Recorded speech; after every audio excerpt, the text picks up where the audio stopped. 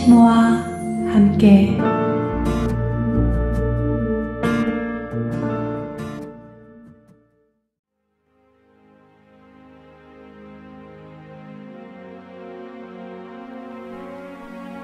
네, 여러분. 아, 반갑습니다. 저는 피아니스트 피아니시모입니다. 네, 오늘 피아니시모 라디오 여섯 번째 시간입니다. 아, 벌써 12월이 중순이 됐어요. 어떻게 지내시고 계셨어요? 어, 제가 오늘 함께 여러분과 함께 할 곡은요. 김민기라는 네, 작곡가 지금은 네, 연출과 뮤지컬 기획자로 활동하고 계시죠? 김민기의 친구라는 곡입니다. 네, 굉장히 반가워하실 분들이 많이 계시리라 생각이 들어요. 아니면, 아, 무슨 곡이지? 잘 모르겠는데, 하실 분들은, 어, 요즘에 이 곡이, 음, 예전 대통령의 추모곡과 또 세월호에 관련된 영화의 주제곡으로 나와서 또 여러분이 더 관심을 갖게 된 어, 곡으로 음, 그렇게 기억되고 있으실 거라 생각이 듭니다.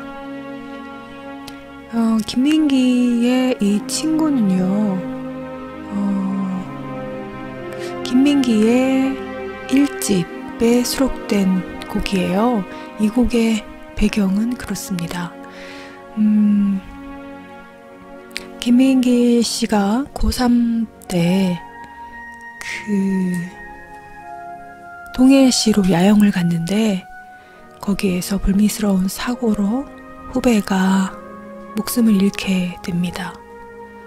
그 후배의 죽음을 알리기 위해서 그 부모님께 알리기 위해서 기차에 몸을 싣고 오던 중에 그 기차 안에서 어, 이 친구라는 곡을 작곡하게 되었다고 합니다.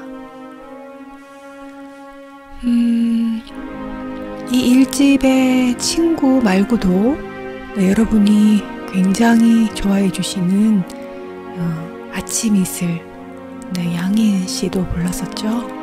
아침 이슬도 함께 수록되어 있습니다. 그래서 1970년에 발표된 어, 곡이에요. 어, 이 밖에도 이 김민기 씨의 곡은 일집의 그 아침 이슬 친구 외에도 여러 곡이 어, 히트를 했고 또 상록수 작은 연못 네, 백구 이런 노래도 어, 저에게는 참 마음으로 친근한 곡이 되었네요. 음, 오늘 제가 들려드릴 김민기의 친구 이 곡은 오늘 김민기의 목소리가 아니라 어, 기타 연주곡으로 네, 감상해 보시겠습니다. 어, 전문 기타리스트를 제가 초빙을 못해서 네, 제가 제가 가진 건반에 기타 소리를 불러드려서 제가 녹음했습니다. 네.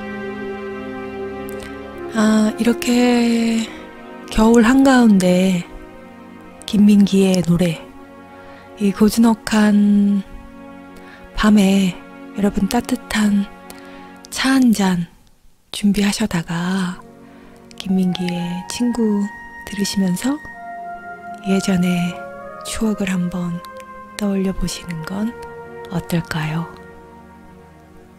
네, 감상해 보시겠습니다. 김민기의 친구.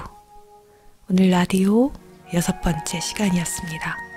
네, 여러분 행복하세요. 피아니시모와 함께 피아니시모였습니다.